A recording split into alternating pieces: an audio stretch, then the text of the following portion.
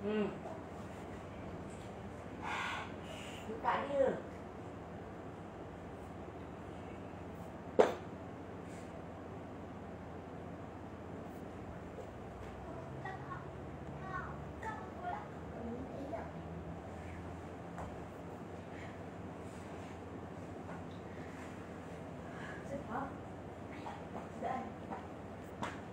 Dekat ais. Ada ais. Itu yang panas. Ais. Yang masih. Wih, habis lah. Hilang semua. Ais. Dekat ais.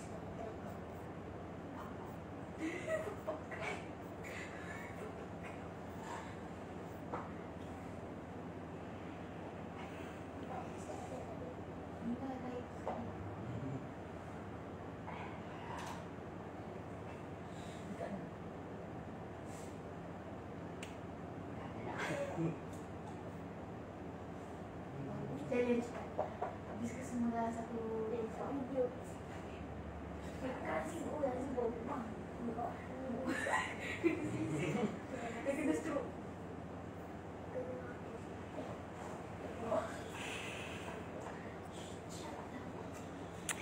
Okay, um, Assalamualaikum warahmatullahi wabarakatuh. Um, apa, apa khabar semua? Hello, beautiful soul, beautiful, mag- magnificent souls everyone.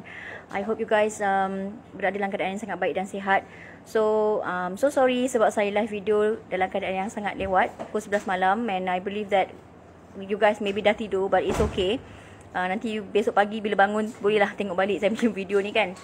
And um, so tonight um, ada benda yang saya nak sharekan um, which is for this past uh, few days um, uh, saya dapat banyak soalan and then ada juga yang um, uh, bukan kawan-kawan saja bukan community anxiety saja yang tanya soalan tapi uh, ada juga uh, family tanya saya kan uh, tentang GERD gastric and anxiety Okay, so siapa-siapa yang uh, view this uh, video, uh, siapa-siapa yang sempat untuk tengok video ni, just please share this video. At least boleh dapat bagi uh, sikit information pada kawan-kawan yang maybe tengah suffered from that condition, gastric GERD and anxiety. Okay, sebab apa yang saya, uh, soalan-soalan yang saya kerap uh, terima adalah uh, apa beza GERD, gastric and anxiety? And kenapa GERD, gastric ni selalu di, dikaitkan dengan anxiety. Okay, so um, saya tak mampu untuk nak bercakap the definition of GERD, gastric and anxiety itu dalam terms medical because saya bukan field tu, saya bukan bidang medical, okay? Tapi saya boleh sharekan definition definition GERD, gastric and anxiety itu based on saya punya pengalaman yang saya pernah uh, lalui dahulu. So apa yang saya rasa, apa yang saya um, suffered from. Okay, so kalau benda yang paling mudah Eh, kalau you all nak tahu sangat beza antara GERD, gastric and anxiety. Benda yang paling mudah. Um, gastric itu, okay, gastric itu uh, dia adalah uh, satu um, uh, keadaan atau penyakit yang mana you mengalami um, maybe inflammation dalam perut, ulcer dalam perut, okay, luka di tepi dinding perut. Okay, so keadaan luka tu berlaku, um, dinding you merah-merah, okay, disebabkan uh, asid yang banyak, penghasilan asid yang banyak. You produce banyak asid dalam perut. So kenapa asid tu banyak? It's because of stress, because you tak jaga waktu makan. Okay, so dia akan produce banyak asid dalam perut. So bila asid tu terlalu banyak, dia akan buatkan you punya dinding tu luka and you punya dinding jadi nipis and that's why you rasa uh, sakit perut, rasa pedih perut and then you rasa dia akan naik ke bahagian ulu hati, you rasa sakit dekat ulu hati and you rasa sekitar perut pun jadi sakit. And you boleh ada setengah orang dia muntah. Okay, macam dulu saya muntah. Lepas tu boleh jadi kembung perut, boleh jadi uh, apa? Uh, short breath pun boleh, sesak nafas. Okay, and ada juga keadaan uh, gastrik. Kalau akut gastrik ni uh, jenis yang you tak boleh langsung nak berdiri tegak. You akan tunduk terus macam nak mengerekod. Ha, itu akut gastrik. Macam dia akan berlaku tiba-tiba. Tapi kalau yang memang gastrik, okay, continuously, continuously uh, gastrik yang memang you memang ada penyakit gastrik itu berterusan, uh, ia disebabkan oleh you punya dinding perut tu dah nipis and then berlaku ulcer ataupun radang dekat sekeliling, sekeliling dinding uh, uh, apa perut tu. That's why you mengalami sakit perut, gastrik, eh, you rasa panggil gastrik. Okay. And then GERD pula, okay, based on saya punya pengalaman, GERD tu adalah uh, berlaku disebabkan uh, GERD, tu stand for gastroesophageal reflux disease. Eh, esophagus reflux disease.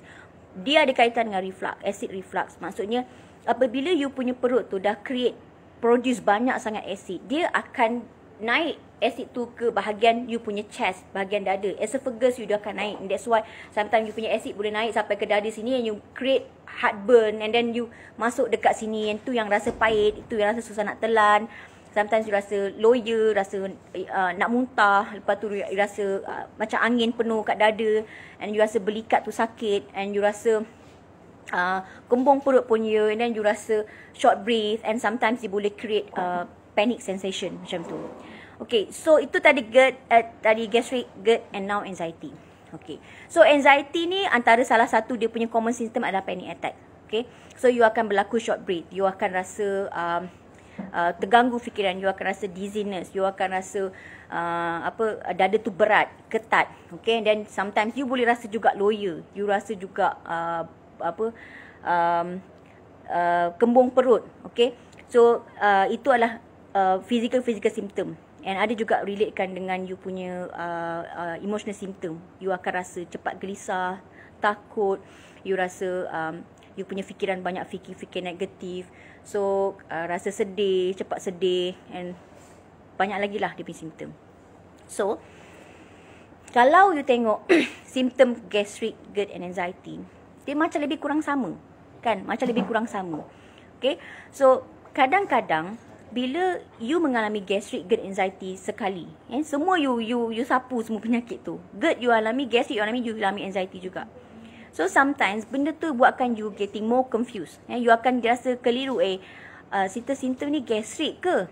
So biasanya you rasa lagi simptom ini then you question lagi eh ni gastric ke? Eh ni hari ni apa? GERD ke? Besok eh ni apa? Panic attack ke? So ni apa? Anxiety attack ke? Okay so you dah start questioning ini apa eh? Ini gastric ke? Kawan-kawan saya nak tanyalah. Saya rasa macam ini, macam ini. Saya rasa sesak nafas. Saya rasa macam dada saya ketat. Uh, tolong bagi tahu saya ini gastric ke? Okey, ataupun kawan-kawan tolong saya rasa macam pening-pening tapi saya macam nak muntah. Ini apa? Uh, GERD ke? Ini anxiety ke? You see, you start questioning. You start tanya ini apa? Okay? So, um, this is my own opinions and this is what I practice uh, sepanjang saya punya proses recovery uh, masa saya nak pulih, okay, the the super important things dalam proses pemulihan adalah to reduce you punya stress. To reduce you punya stress. So, bila you keep questioning, okay, simptom ni apa eh? Simptom ni apa eh? Simptom ni uh, uh, pasal apa eh? Sebenarnya, secara tak langsung, you tengah increase you punya uh, stress. You sebenarnya beri pressure pada diri you semula. Untuk nak tahu, Simptom ni simptom apa? So besok you rasa simptom lain, you akan tanya lagi, okay yang ni simptom apa pula?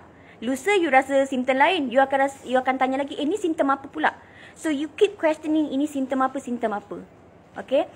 So you kena faham, dalam proses pemulihan, kita perlu untuk kurangkan stres. Okay? Dan sepanjang you mengalami anxiety, you mengalami keadaan-keadaan penyakit macam tu, you sebenarnya you punya mind dah penat pun sebenarnya. Of course, okay, I'm asking you, bila you kena anxiety, bila you kena panic attack, apa yang you rasa? Okay, bila you kena panic attack lah, apa yang you you you you buat masa tu? You akan rasa macam, okay, bila panic attack, it's hard for you untuk tenang, betul tak? Susah untuk nak tenang, susah untuk nak relax. And you punya mind sangat-sangat kusut. Bila you kena panic attack, you dah macam menggelabah. You tak tahu apa yang nak buat. Betul tak? So, bila you kena panic attack, atau you kena anxiety attack, waktu tu you akan rasa macam tak boleh nak fikir dengan jelas, tak boleh fikir dengan waras, you rasa takut. Takut, takut, you rasa cemas, you rasa gelisah, you rasa resah, you akan rasa benda macam tu. Stres tak keadaan tu? Stres kan? Burden tak? So masa you kena panic attack, bukan saja you rasa those sensation, bukan you bukan rasa sensasi-sensasi tu je. You bukan rasa uh, physical symptom tu je. You akan create more fikiran-fikiran yang negatif.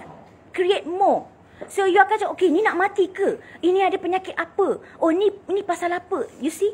So stress tak waktu tu? Burden tak waktu you kena attack tu? Burden, betul tak? Alright. So bila bila you tengah burden dengan serangan, you tengah burden dengan dia punya physical symptom, burden dengan dia punya emotional symptom, kenapa you tambahkan lagi tekanan dengan questioning questioning macam tu? Ha, so jangan tambahkan lagi persoalan macam tu dah. Jangan rasa macam eh kenapa benda macam ni, kenapa benda macam ni? Kita yang sebenarnya question benda tu, kita sebenarnya yang tambah lagi soalan tu. Kan? Bila kita dah panic attack, kita punya condition waktu tu dah sangat-sangat haru biru dah. Eh, otak kita penuh dengan macam-macam persoalan. Tapi bila kita kena attack, kita mempersoalkan lagi kenapa dan kenapa. Itu masa kena attack. Besok lusa bila kita tengah dalam keadaan okey and then relapse balik eh simptom tu datang balik kita question lagi. So nampak tak setiap hari kita menambahkan beban dalam kepala kita untuk nak mendapatkan kepastian, untuk nak mendapatkan jawapan apa kena dengan aku hari ni? Ini simptom apa hari ni? Tadi aku kena kenapa? Uh, you see question macam tu menambahkan beban, menambahkan stres. So please The super important things dalam proses pemulihan adalah reduce your stress and manage your stress. Urus stress you betul-betul. So, jangan tambahkan stress sebab dia akan melambatkan proses pemulihan you. So, kalau you nak tahu uh, gastric tu apa simptom dia, GERD tu apa simptom dia, anxiety tu apa simptom dia, just ambil tahu benda yang surface saja. You don't have to research yang dalam-dalam. Sebab kepala you masa tengah kena anxiety, masa you mengalami anxiety disorder, you punya fikiran tu sangat kusut eh, sangat-sangat berat and you dah penuh dengan stressful.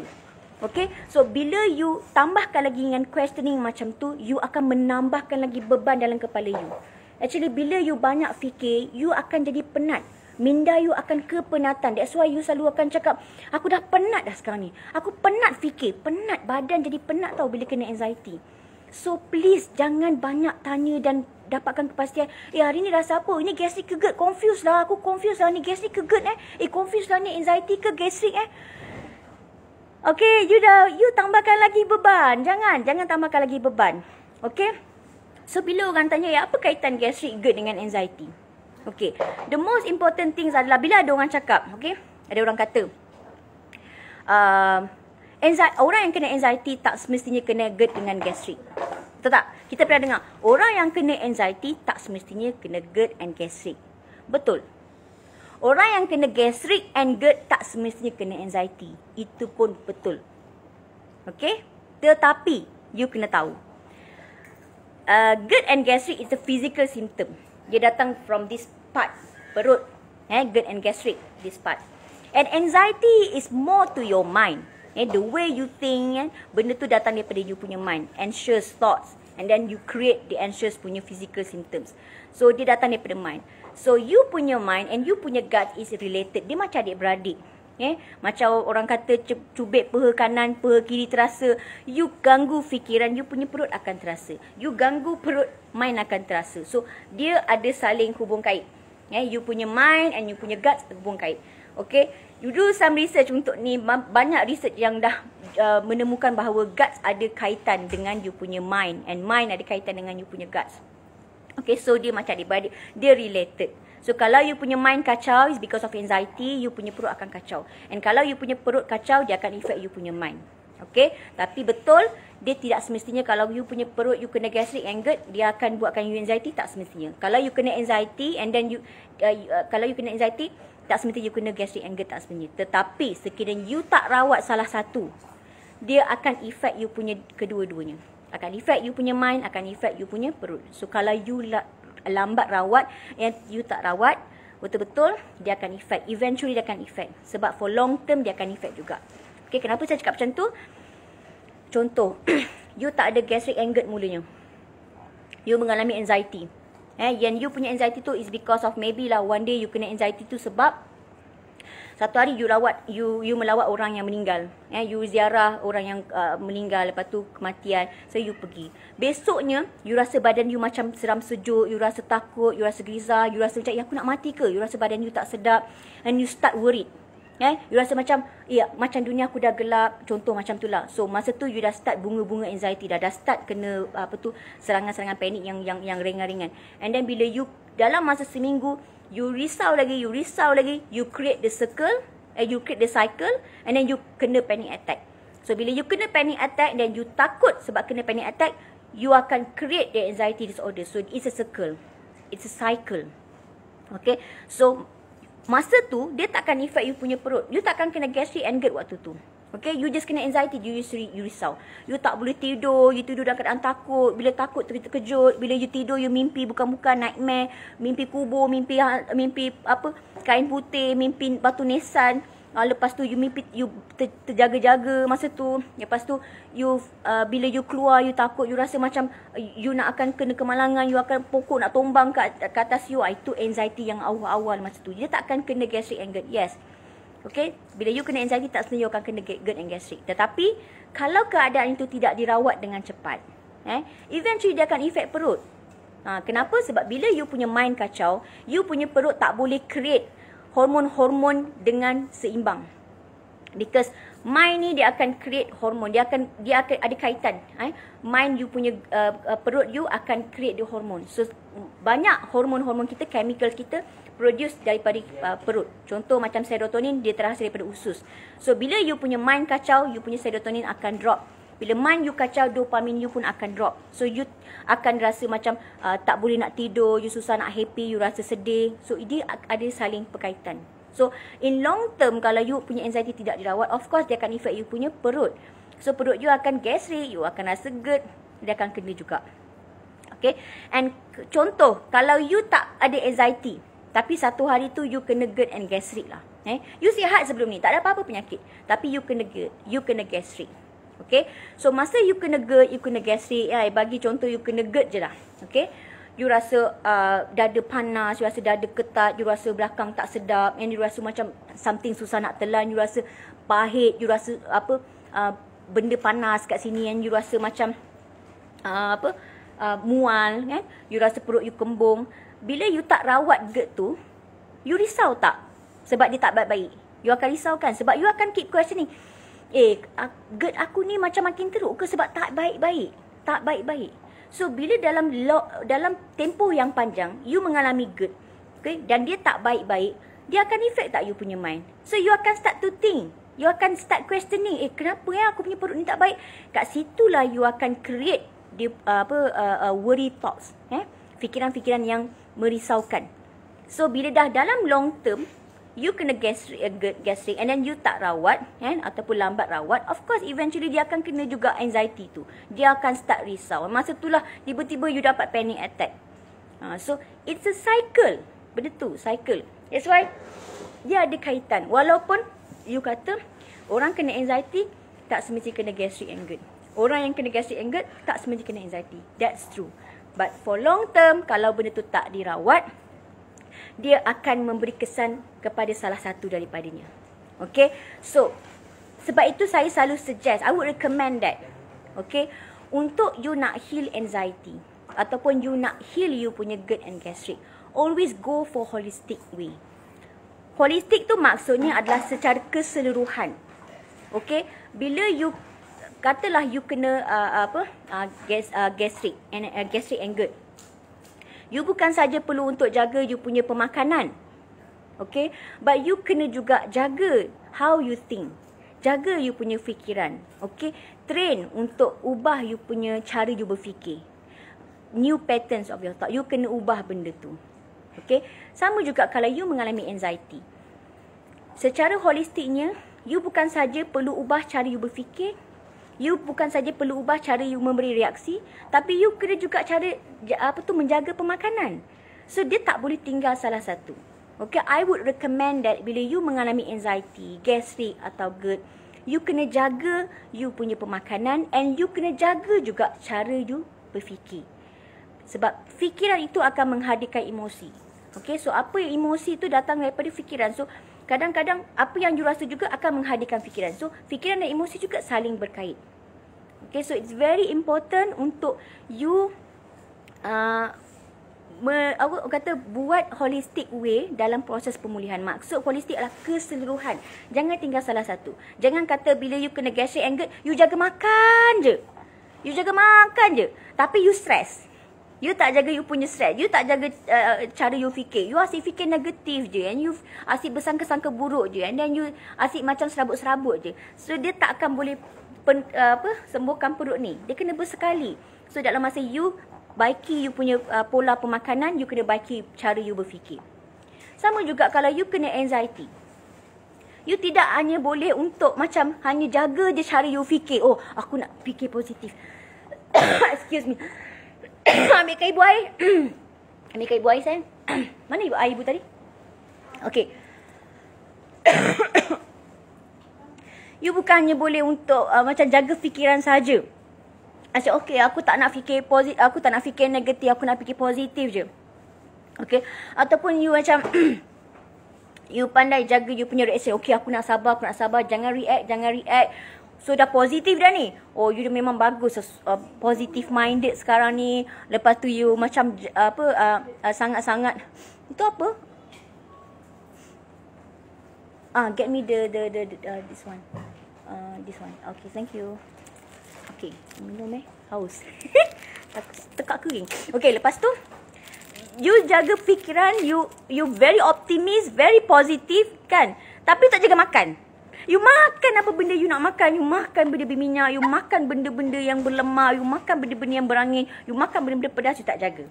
Kan? Ha, so, benda tu tak sempurna lah. Dan janganlah tanya kenapa tak baik-baik aku punya apa uh, uh, perut ni. Kenapa tak baik-baik. Sebab you just jaga fikiran tapi uh, you tak jaga uh, you tak jaga you punya pemakanan sebab pemakanan itu pun akan efek cara you berfikir kenapa saya cakap macam tu Bismillahirrahmanirrahim sebab you tahu tak okey sebab itu sebab itu penting untuk kita jaga pemakanan jaga kita jaga pemakanan sebab apa sebenarnya uh, kita punya perut ni actually benda ni pun uh, saya stay training and saya ingatkan diri saya juga sepanjang saya share dengan you all ni saya pun ingatkan diri saya juga It is very important untuk kita jaga pemakanan kita, jaga makan kita.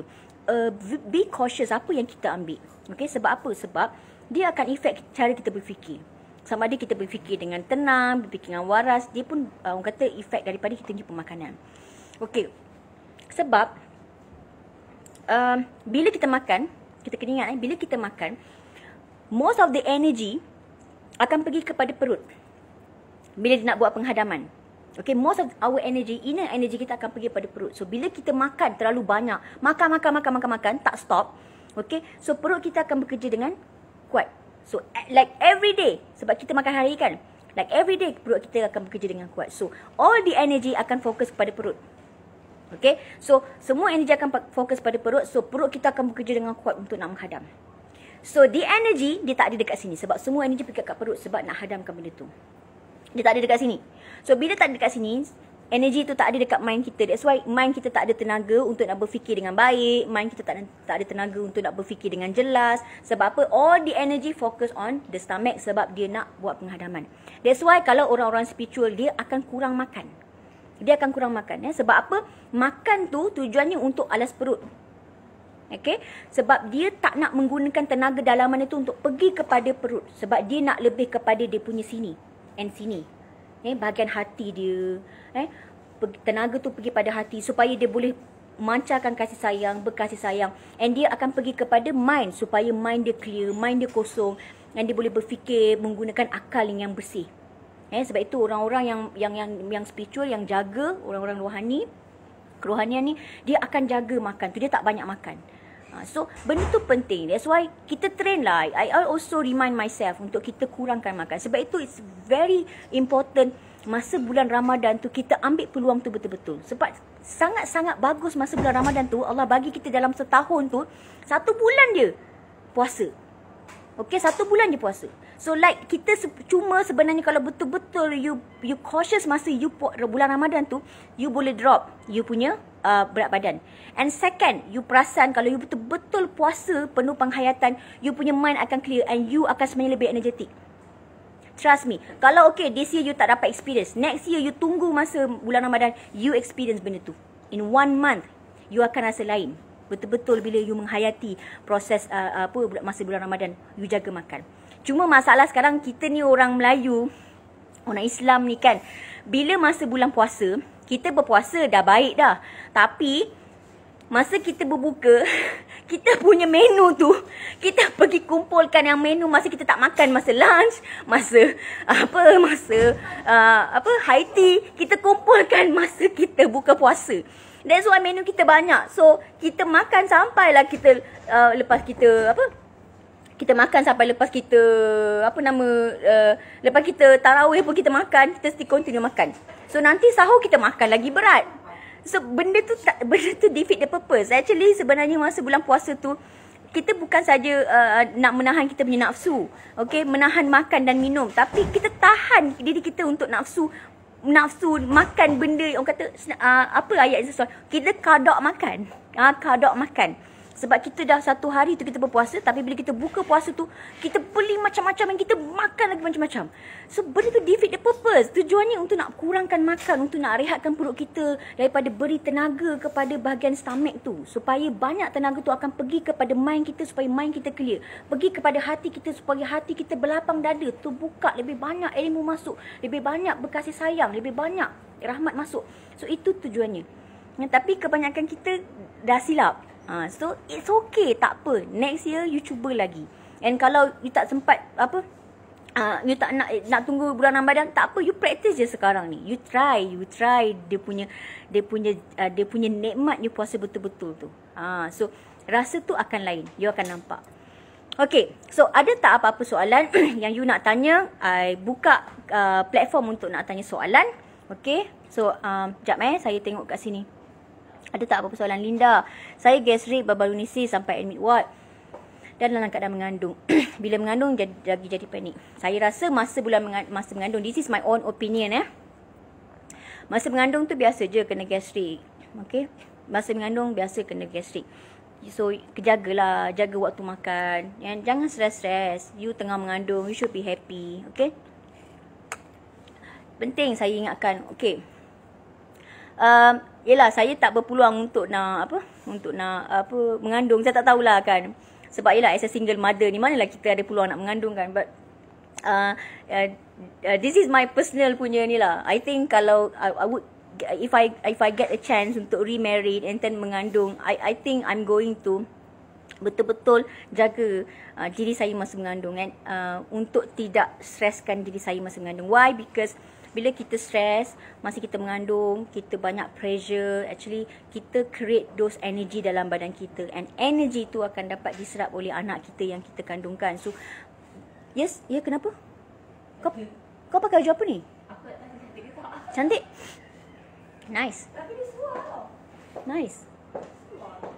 Lawa lawa. Apa kau nak tunjukkan kepada live video aku? Ah, kam kam. Perangan. Okay, so it's very important. Apa aku nak cakap aku lupa kau ni kasih aku. Pas okay, lepas tu um, okay masa mengandung. So maksudnya uh, masa mengandung kita kurangkan stres, urus dengan baik um, sebab energy yang kita kita create our ini uh, tenaga dalaman yang kita create tu akan pergi pada anak. Okay. So kita kalau boleh nak nak nak orang kata create a better future uh, for our children. So um, Jangan stres-stres. Ha. So kalau tak nak stres tu, saya rasa benda yang paling simple lah. Banyakkan mengaji je. Banyakkan mengaji. So bila kita stres je mengaji. Bila stres mengaji. Kan mana tahu mudah-mudahan sebab banyak pun cerita-cerita yang saya dengar. Ibu-ibu mengandung yang mengaji Al-Quran ni. Dia dia hasilkan anak yang yang calm, very calm, yang sangat tenang. So bila kita hasilkan anak yang tenang, of course lah kita tak susah lah. Maksudnya anak tu tak kuat meragam, yang kita pun rasa macam relax, tenang nak jaga dia. So kita usahalah kan. Ada yang saya nampak macam tu lah. But tak adalah kita nak cakap anak yang kuat meragam tu masa tu mak dia tak baca Al-Quran. No, bukan bukan kat arah situ. Maksudnya ini kita punya usaha, ini inisiatif kita kan. Sebab kita pun kalau boleh nak anak yang yang yang calm supaya kita pun eventually akan senang nak jaga dia. So masa mengandung you kena jaga betul-betul jaga you punya energi dalaman. Sebab dia akan turun pada anak. Okay, Farah Raja Syarudin Penat exhausted? Ya, yeah, of course. Kalau kena anxiety, memang you akan penat. Very exhausted. Sebab you keep questioning, kenapa jadi dengan badan aku macam ni? Sampai bila aku nak macam gini? Kenapa orang lain boleh sembuh? Kenapa aku tak boleh sembuh? Kenapa uh, aku yang kena macam gini? Okay, so you akan tanya lagi, uh, alamak aku kena simptom ni. Uh, ini apa benda pula eh? Alamak ni simptom baru. Ini penyakit apa pula eh? Penat tau sebenarnya. Sebab you banyak fikir. Benda you banyak fikir badan you akan penat, otak you akan penat. So you tak ada masa sebenarnya untuk nak rest. That's why saya kata jangan tambah-tambah lagi persoalan dah. Sebab itu dalam proses pemulihan saya selalu kata you kena acknowledge. Penting untuk you acknowledge yang you kena you memang sedang kena anxiety. So bila you kena anxiety you uh, you dah didiagnose. You dah diagnose oleh doktor yang you mengalami anxiety. So bila you dah mengalami anxiety, sepatutnya you tak perlu question apa-apa lagi dah. Because anxiety memang akan create macam-macam simptom yang pelik-pelik. So you don't have to to to questioning ini eh, kenapa ke kenapa. Anxiety is anxiety, begitulah dia. Okay, so jangan questioning lagi sebab you akan burdenkan balik you punya mind. Okay, so kurangkan you punya stress. Fix Zona Ziz, hai kak, lama tak nampak. Hai, akak kat sini je. Kat sini. Uh, actually uh, kalau you all uh, uh, you all kalau you all follow saya punya page yang lama dulu, saya banyak kali beritahu page tu sebenarnya saya dah tak boleh nak apa tu tak boleh nak tabir lagi, tak boleh nak nak jadi admin sebab dia kena hack. So that's why saya create this new page. So you guys bolehlah join page ni sebab insya-Allah saya akan uh, apa share uh, uh, my my experience dan saya akan jawab soalan kawan-kawan yang sedang mengalami anxiety and you, if you guys need some tips and some uh, uh, guidance untuk macam mana nak overcome your anxiety, insya-Allah I I'm trying uh, I I can help you. Okay, saya akan cuba guide mana yang boleh based on my own experience, okay? Atas nasihat akak saya dah boleh layan. Yes, alhamdulillah. Selamat raya Kak, selamat raya. Okey. So, now ada apa-apa lagi soalan tak? Ada apa-apa lagi soalan? Hmm? Kalau ada apa soalan bolehlah share sebab kadang-kadang pun ni saya pun cari masa untuk nak apa untuk nak nak apa? Untuk nak live live dengan you all ni sebab Yelah, saya percaya ramai so, banyak soalan-soalan yang you all nak tanya tapi sebenarnya macam dah tak tahu. Dia macam ni tau, dia, dia ada perasaan macam ni tau. Yang saya banyak kali kena lah. you all ni, bila bila bila saya tak bu, bila saya tak buat live, you all macam-macam nak tanya. You all nak tanya tu, you all nak tanya ni, you all nak tanya Kak Nas lah, nak tanya ni, nak tanya lah, macam oh nak message lah, nak tanya kenapa saya macam ni.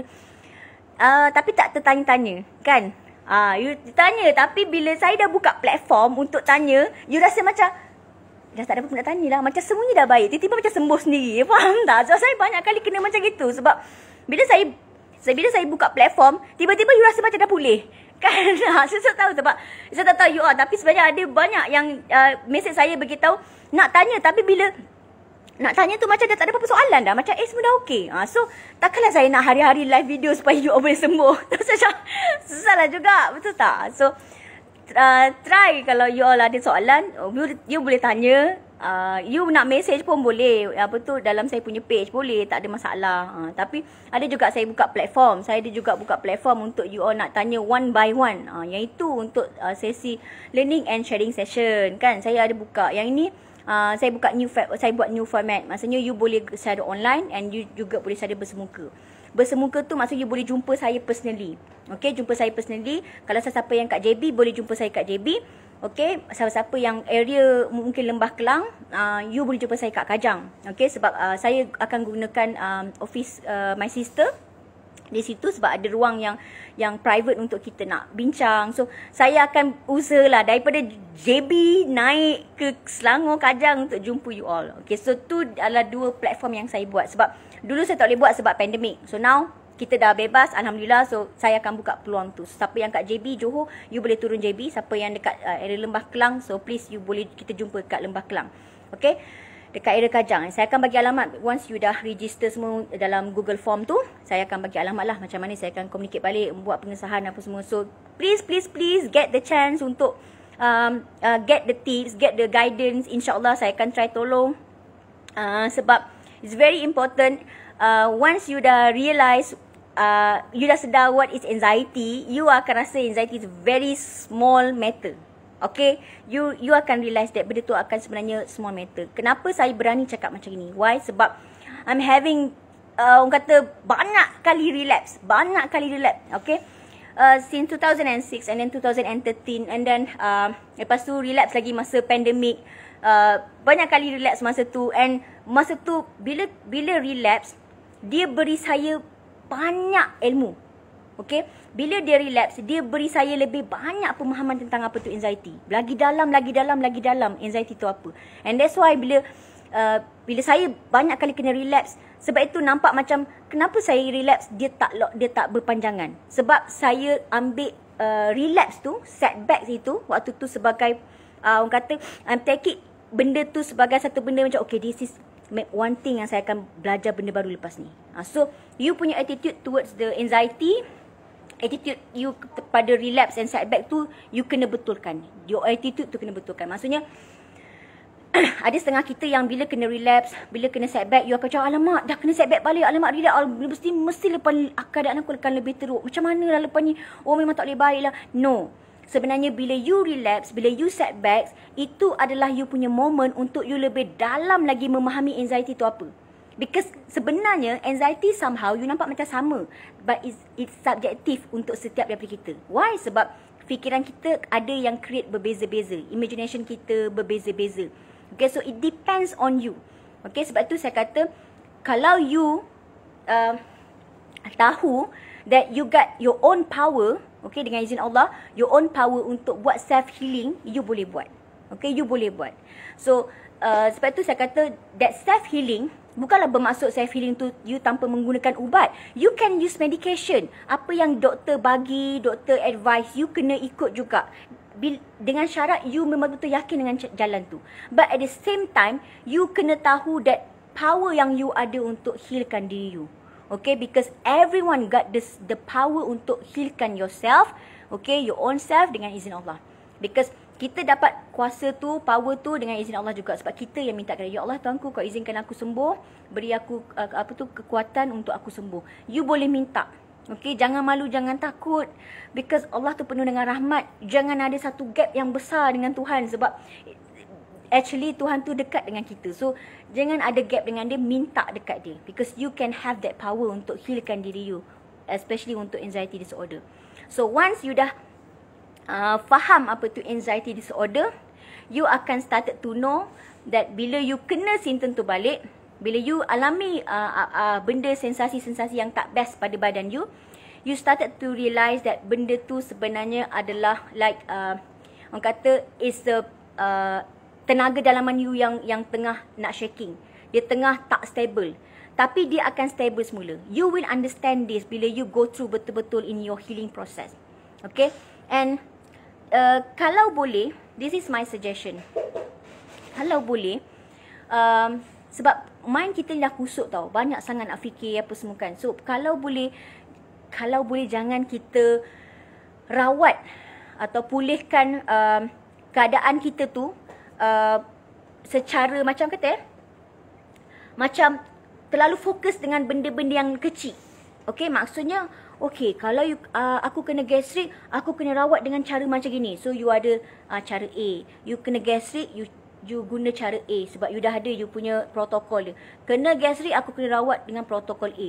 You kena GERD hari tu. Okay, aku akan rawat guna protokol B. You kena anxiety attack waktu tu. Okay, you akan rawat guna protokol C. So, each you punya disease, you punya illness yang you rasa tu, you akan rawat dengan different protocols. Boleh. Untuk beginners, boleh. Tak ada masalah. You overcome satu-satu. Maksud yang lebih mudah saya nak kata, contoh kalau you kena anxiety, uh, kalau aku kena anxiety, aku akan pastikan aku akan minum air. Contoh. Benda simple, okay? Kalau aku kena anxiety, aku akan minum air, aku akan sapu uh, minyak angin lah, apa benda, so aku akan okay. Alright? So, kalau you kena GERD, apa yang you nak buat? Uh, kalau aku kena GERD, aku nak sapu ubat penuh-penuh dekat dada aku supaya aku punya angin tu boleh lepas. Contoh. Atau you kena gastrik. Okay, kalau aku kena gastrik, apa aku nak buat? Aku akan minum air banyak-banyak contohnya. Ataupun aku ambil ubat uh, uh, Gaviscon ke apa ke untuk aku makan. So, you see, you entertain uh, you punya uh, simptom-simptom tu dengan protokol-protokol tertentu. Itu bagus. Tetapi untuk long term, um, dia tak, uh, untuk long term nanti dia akan jadi macam dah immune. Okay, that's why uh, might as well bila you dah ada knowledge pasal uh, uh, self healing you dah tahu macam mana uh, simptom tu bergerak bekerja dalam badan you start untuk uh, start untuk increase you punya uh, method dalam healing dengan cara you rawat diri you secara keseluruhan. Again saya sebut holistic. Secara menyeluruh secara keseluruhan Okay, so kita jangan overcome certain-certain symptom saja. Kita terus rawat, kita terus pulihkan the whole things about us. Okay, maksud saya adalah the four elements yang saya selalu sebut untuk you rawat. Jangan pergi pada satu-satu simptom. Oh, simptom ni aku kena buat macam ni. Simptom ni aku kena buat macam ni. Simptom ni kena buat macam ni. For beginners boleh lah. Tapi sampai bila? Okay, you akan penat. So now, untuk jangka masa panjang, you dah boleh start. Eh, mana-mana yang dah lama sangat dekat dalam anxiety tu, you dah boleh start dah. Jangan fokus untuk rawat certain-certain simptom je. You dah boleh fokus. You dah boleh, orang kata, uh, apa tu, luaskan you punya minda. Buka hati you, rawat keseluruhan diri you dan rawat keseluruhan you punya life. Kehidupan you. Okay, dengan cara overcome these four parts. Your physical, you kena jaga. Okay, you punya physical jasad you because this is your kenderaan. You punya kenderaan untuk you nak jalani kehidupan you sebagai manusia. Okay, jaga.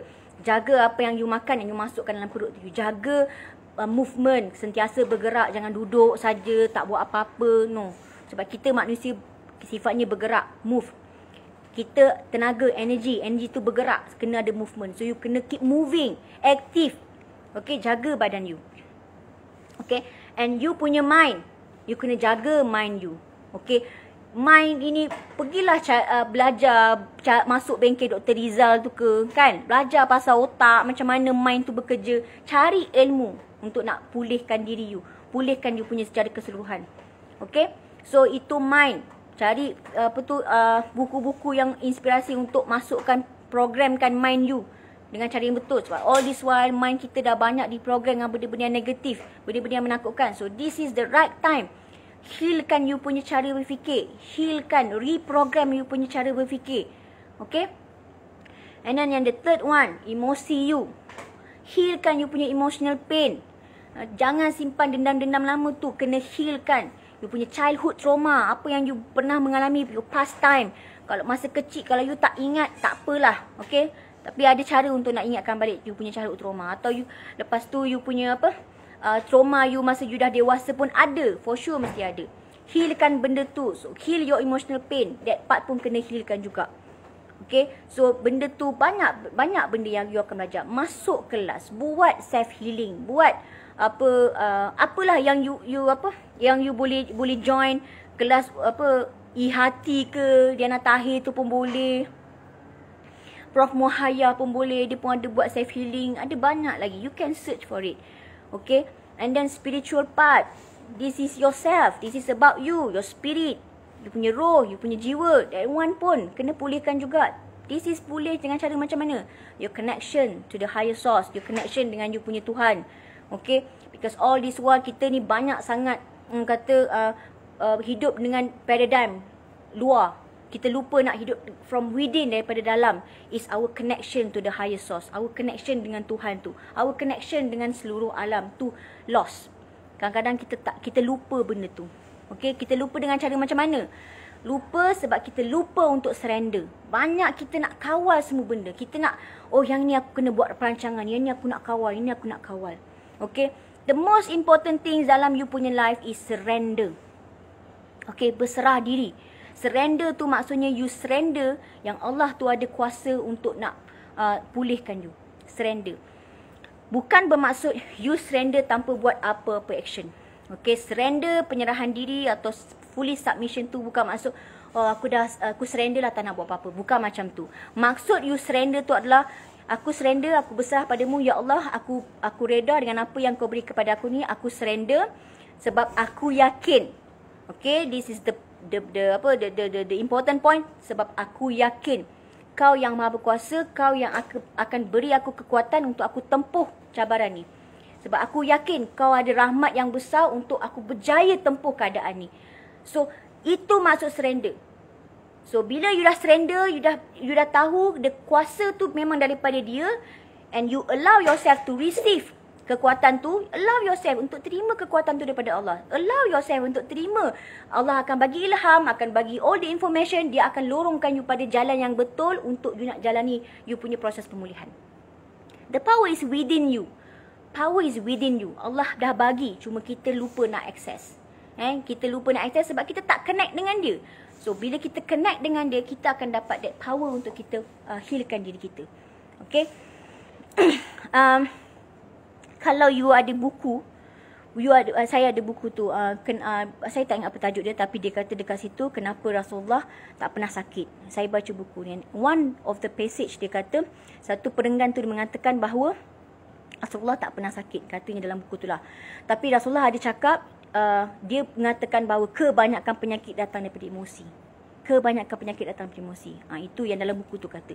So that's why saya kata penting untuk kita betulkan juga kita punya emotional pain tu rawat, healkan. Okay, at the same time connect dengan dia. Sentiasa connect dengan dia. Kenapa saya kata sentiasa connect dengan dia? Because we only got the power, we only got the strength from the higher source, from Allah. Okay, kita kita tak ada daya upaya. Mana kita ada kuasa, mana kita ada benda ni tak ada. Tapi kita dapat benda tu semua daripada dia. So that's why bila nak dapat benda tu daripada dia, kita kena connect dengan dia. Tapi kalau kita lupa dia, macam ni kita nak connect, kita pun lupa dan kita tahu uh, kenapa aku macam ini, kenapa aku tak boleh nak pulih, kenapa aku sakit, kenapa orang lain boleh sembuh, kenapa aku tak sembuh. You keep questioning. Tapi have you ever minta betul-betul daripada Allah? Minta betul-betul. Dan minta dalam keadaan you yakin. You yakin yang Allah akan bagi. Okay, minta, Ya Allah Tuhanku, aku dah tak tahan lagi dah. Aku dah penat dengan keadaan macam ini. Sampai bila aku nak sengsara? Orang lain boleh pulih, orang lain boleh bahagia, aku tak boleh sampai bila aku dah penat. Tolong ya Allah beri aku jalan. Kau tunjukkan aku jalan. Kau hantarkan aku guru-guru, kau hantarkan aku buku, kau hantarkan aku video ke apa benda inspirasi yang boleh guide aku yang sesuai dengan jalan aku sekarang ni. Apa yang sesuai dalam proses pemulihan aku. Buat. You kena minta benda macam tu. Okay? Kenapa saya cakap ni? Sebab this is what I'm practice. Sebab saya pun tak ada daya upaya. And bila saya dah practice benda ni and I got the the chance, all the information I got and saya praktiskan and itulah yang saya dapat hasilnya. So, saya percaya you all pun boleh use your own power untuk dapatkan benda tu daripada Allah. Minta, Ya Allah Tuanku, apa pula cara aku? Itu cara Kak Nas. Kak Nas dia macam gini. So, Kak Nas punya cara oh, rupanya melalui natural treatment. Kak Nas punya cara melalui cara dia buat self healing, buat buat meditation, ha, dia buat lebih kepada nature. So, apa cara aku? Bantu aku ya Allah, guide aku. So, use your own power. I'm not saying that you kena ikut cara saya, bukan. Tapi setiap orang daripada you yang dengar ni, you ada power untuk buat. I'm telling you, sebenarnya bila kita dipertemukan dengan satu-satu ruang dan peluang ilmu tu, benda tu untuk you. Okay, dalam banyak-banyak orang, okay, dalam pukul 11.30 ni, ha, nak masuk pukul 12. Kenapa you all yang terpilih untuk dengar video saya? Kenapa? Ada sebab. Kenapa Allah masih tak tidurkan you lagi untuk dengar apa yang saya cakap? Ada sebab. So, sebab tu adalah bukan setakat mendengar tapi you kena practice. Okay, please. It's about practicing. Kalau you tak praktis apa yang saya ceritakan, you takkan dapat rasa hasil tu. And kenapa saya bersemangat sangat nak cerita dengan you ni? Because I experience dia punya hasil. And that's why saya rasa macam, takkan aku nak rasa seorang-seorang. Habis kesian dia orang yang kat sana macam mana. That's why I'm sharing you all this information for you guys to practice. Okay? Keep. Alright? Sentiasa berhubung dengan Tuhan. Jangan, jangan apa, stop. Jangan stop. Because you will got all dia punya strength, all dia punya energy daripada Tuhan juga. So please. Alright, so ada apa-apa lagi tak soalan? Kalau tak ada dan kita akan stop dekat sini, ada apa-apa? And please kawan-kawan siapa-siapa yang you, you dengar uh, video ni, please share to others. Uh, in a hope that uh, siapa-siapa yang suffered from anxiety, you boleh heal. And sebenarnya I'm not I'm not um, uh, uh, macam focusing on anxiety saja. But if you guys have emotional pain, uh, negative thoughts, and you maybe have a past trauma, I will try to help you. So uh, you can even uh, message saya. Saya akan cuba bantu.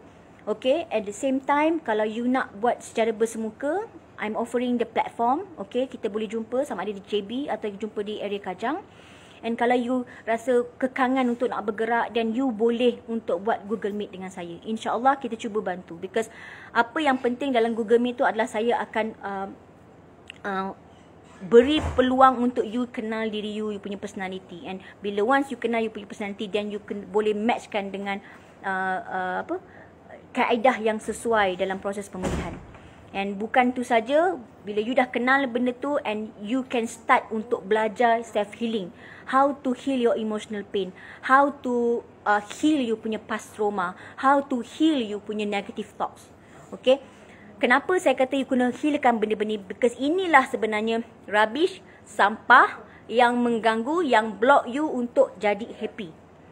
Okay, bila you carry the emotional pain, you carry trauma you yang lepas and tu you tak let go, benda tu akan jadi blockage dalam diri you and you susah nak pergi ke depan. You susah nak rasa happy. You susah nak fikir dengan positif. You susah nak baiki you punya kehidupan. That's why you kena healkan benda tu. Okay, please heal you punya emotional pain.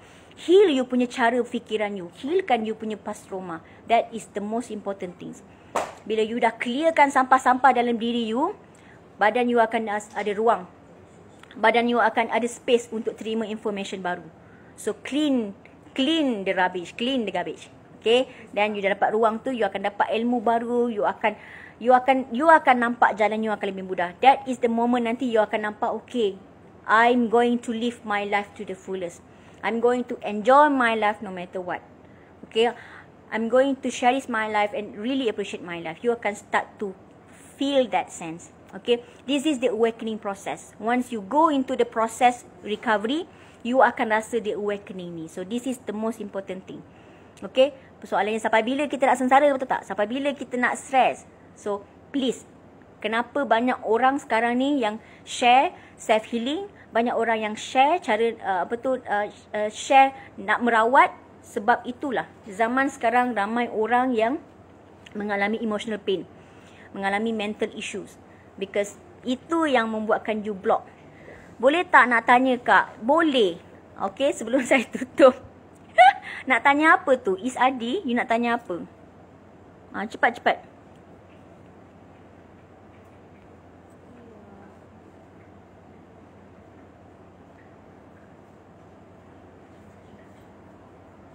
Apa lagi nak tanya? Saya boleh uh, insya-Allah saya cuba bantu.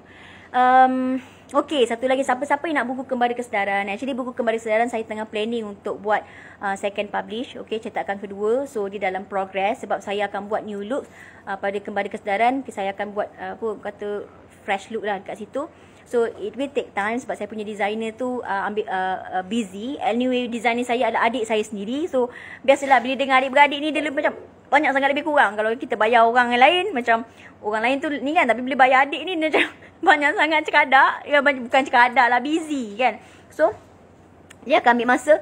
So saya punya planning is by September insyaallah kita saya akan cuba publish uh, uh, republish saya punya buku cetakan kedua untuk kembali kesedaran. Uh, apa lagi? Hmm Mio Syarul Nasiruddin Sabar itu indah. Ya sabar itu indah. Okay Is Adi Sekarang ni kadang tengah kerja dia jadi menggigil. Ya jadi menggigil. Okay uh, Kalau you kena panic attack Atau you memang kena ada anxiety Memang you kalau you ada anxiety You akan rasa perasa uh, You akan rasa sensasi menggigil tu Like all the time. Okay All the time you akan rasa. Uh, Kadang-kadang kalau you tak rasa all the time pun At certain certain time you akan rasa Especially masa you nak tidur You akan rasa tiba badan you shaking Okay, you akan rasa badan you shaking. Atau tiba-tiba kalau you seorang, you duduk tengok TV, tiba-tiba badan you akan shaking. Okay. Hmm. So, saya selalu ingatkan, kalau you rasa dos has, uh, uh, rasa-rasa macam menggigil, tapi bila tengok tak menggigil pun, macam bagaimana cara nak handle yang ni? Okay, again, itu yang saya kata, bagaimana nak cara nak handle yang ni. Sebab itu saya kata, kita kalau boleh elakkan untuk kita overcome satu-satu simptom tu, satu-satu sensation tu, uh, uh, uh, elakkan kita overcome satu-satu-satu.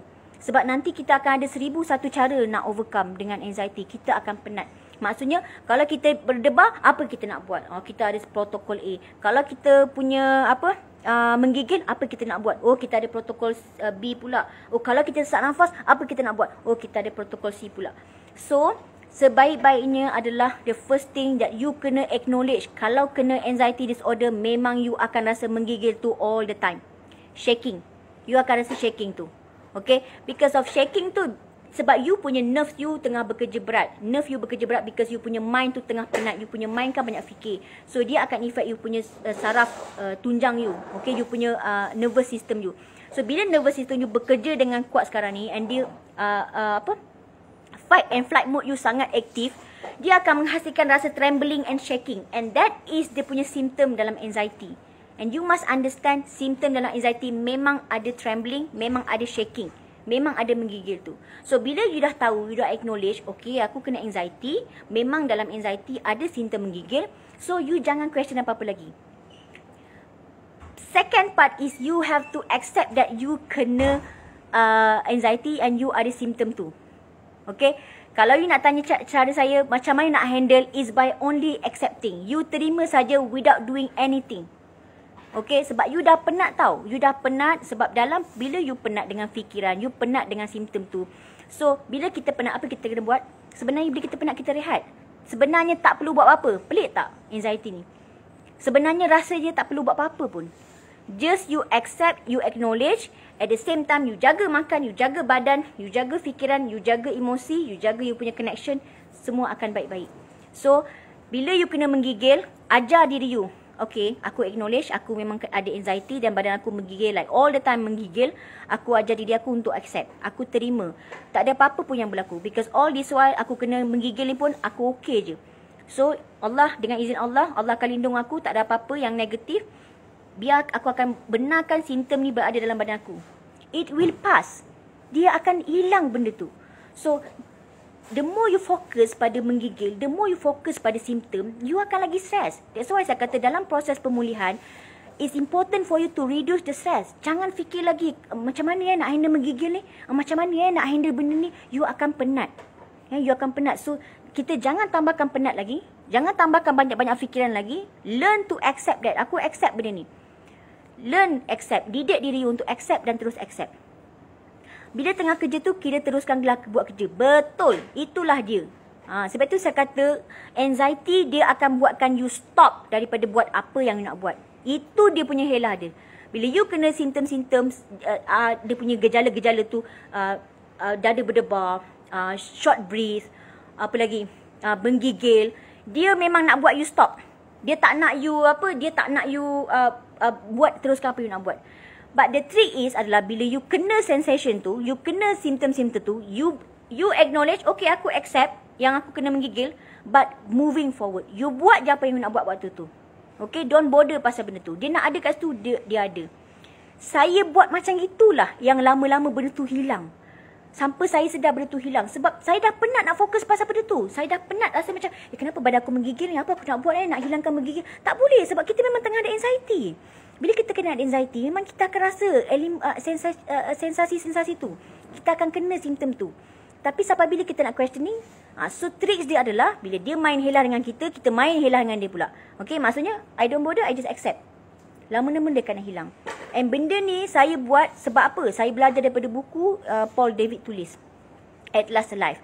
Dia ajar diri dia buat macam tu. And saya bila baca tu, saya rasa terinspirasi dan saya praktiskan. Bila saya praktiskan, eh betul lah, it works. Sebenarnya, lagi kita fokus pada simptom, lagi simptom tu makin kuat. Lagi simptom tu datang.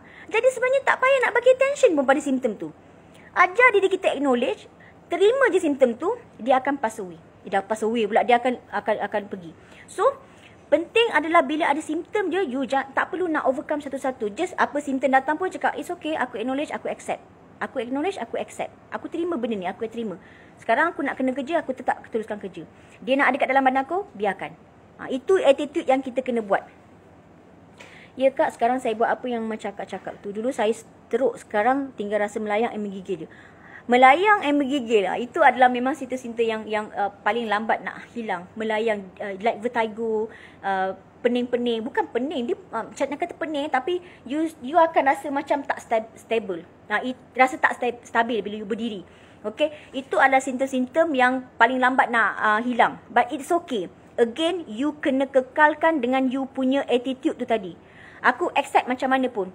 Dia akan pergi juga benda ni. Cepat atau lambat je. Tapi, Walaupun dia ada simptom ni, ah, this is the attitude yang saya develop dulu eh.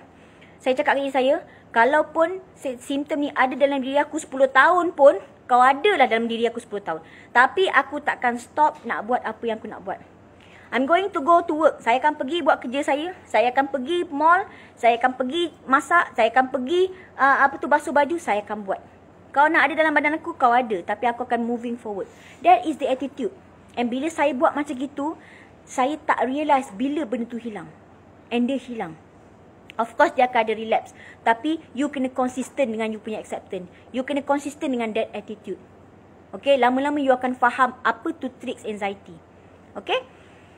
Alright, saya harap uh, saya dah, dah menjawab you punya soalan. Okay, uh, uh, dah lambat pukul 12 dah. Okay, ya betul tu kak. Baik kita terima anugerah Allah bagi bagi pada kita. Yes, sebenarnya nanti you akan nampak uh, you akan nampak yang anxiety ni ada hikmah dia. Okay. Dan sebenarnya bila macam saya kata, bila you dah find out betul-betul anxiety ni very small issue. Okay. You akan fokus benda yang lebih besar nanti in future. Alright. So again, Uh, saya akan menjawab soalan tu. Dan kalau ada apa-apa yang you nak tanya lagi just boleh private tak ada masalah. Saya akan cuba balas insyaallah. Alright so uh, kita uh, tangguhkan uh, kita pergi macam tangguhkan mesyuarat pula eh. Macam okay kita stop dulu kita ni live video untuk uh, malam ni. So insyaallah kalau ada saya masa akan datang saya akan buat live video lagi. So gunakan platform tu untuk kita berbual kita sembang kita share. Alright Uh, dan saya akan uh, sharekan tips saya, pengalaman saya apa semua. And if you guys uh, rasa selesa please practice kalau you, you guys rasa tak selesa tinggalkan and use your own power untuk dapatkan information yang terbaik untuk diri you saya selalu cakap macam tu use your own power Okay, and then um, please uh, apa tu kalau ada siapa yang nak join uh, learning and sharing session, just click dekat uh, Google Form tu untuk daftar. And saya punya buku kembali kezaran bulan-bulan 9 insyaAllah. And apa lagi? Um, okay, saya punya uh, apa YouTube saya uh, anxiety disorder compilation you just search anxiety disorder compilation you type kat situ and then you can dapat semua collection um, video-video pendek ataupun video-video yang panjang uh, tentang anxiety and please please uh, apa uh, praktiskan okay? So kalau ada salah silap kata-kata saya yang membuatkan uh, you all terkecil hati ke apa benda ke saya minta maaf sebab kadang-kadang bila dah bersemangat sangat cerita pengalaman tu ah uh, jadi macam tu lah kadang terlepas cakap. So minta maaf banyak okay? Uh, Mio Syarul Nasruddin uh, thanks for sharing sis trust in Allah insyaallah. Yes Thanks. Uh, terima kasih Kak. Semoga Allah memudahkan segala urusan Kak and diberi kesihatan berpanjangan untuk akak lagi insya-Allah amin. Amin amin amin. Untuk you all juga semua untuk siapa-siapa yang dapat peluang dengar malam ni ucap tahniah pada diri you all sebab uh, itu semua atas izin Allah. Ada sebab kenapa you dapat peluang untuk dengar video tu malam ni. Okay, so tahniah and uh, tidur dengan tenang malam ni. Uh, jaga diri baik-baik. Okay, take care. Bye. Assalamualaikum.